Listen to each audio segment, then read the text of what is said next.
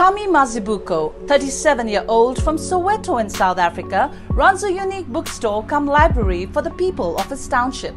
The bookstore is located in the bright room at the top of his family home. Mazibuko says it's very rare to find a black owned bookstore or a library in townships, and he is determined that his neighbors should have every access to books outside of schools.